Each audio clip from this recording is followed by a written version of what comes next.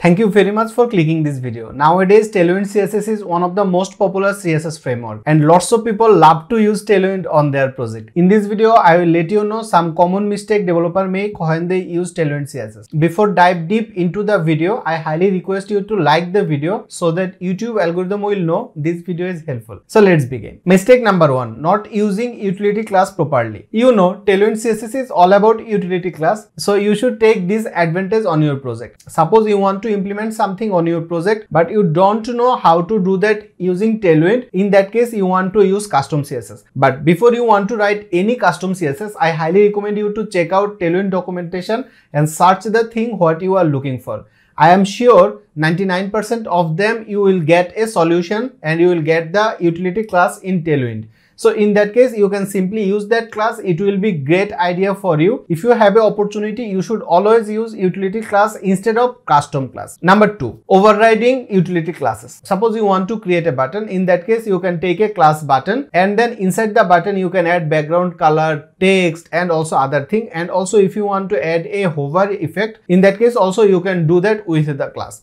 But if you use Tailwind, in that case, I recommend you to use utility class. No matter what type of button you want to create, you can do it using Tailwind CSS. If you have fundamental knowledge about Tailwind CSS, in that case, creating a button is not very difficult and you can create a button using Tailwind CSS in very short time. So in that case, if you override Tailwind CSS class, it will very difficult for you to manage your complete project. Suppose you have a big project and in the big project, you just changed a a default Tailwind CSS class. In that case, it will hamper on your project every now and then and it will be very difficult for you to manage. So I highly recommend not to overwrite any Tailwind CSS class. If you need to use any custom thing, in that case, you can take a custom CSS and then you can use. And again, as I said before, you should try to avoid this, but sometime we need to use custom CSS on our project. If you need, in that case, you can use your custom CSS, but not to overwrite or not to customize Tailwind CSS class. Number three, not customizing configuration file. Definitely by default, everything comes with Tailwind is good. But suppose in your project, you want to use a custom font. So if you want to use a custom font, every now and then you need to use the font on your project on the heading part, paragraph part or in the button. In that case, if you customized your Tailwind with a custom font name and then thing, in that case, it will very easy to use the font on your project every now and then. Mistake number four, using too many utilities class. I seen many developer use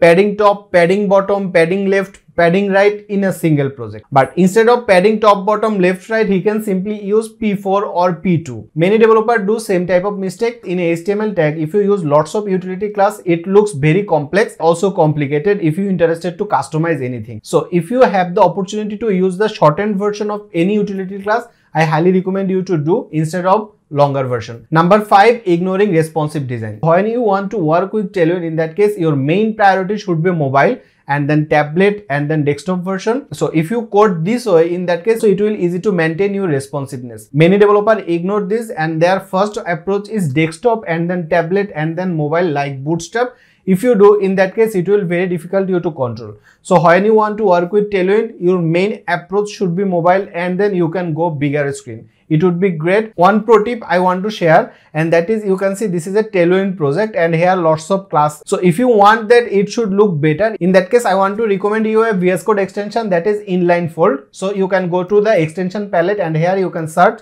inline fold. So if you do, in that case, you should get this extension and if I click in that case, you can see the extension author name. So if I click install, in that case, it will install in very short time.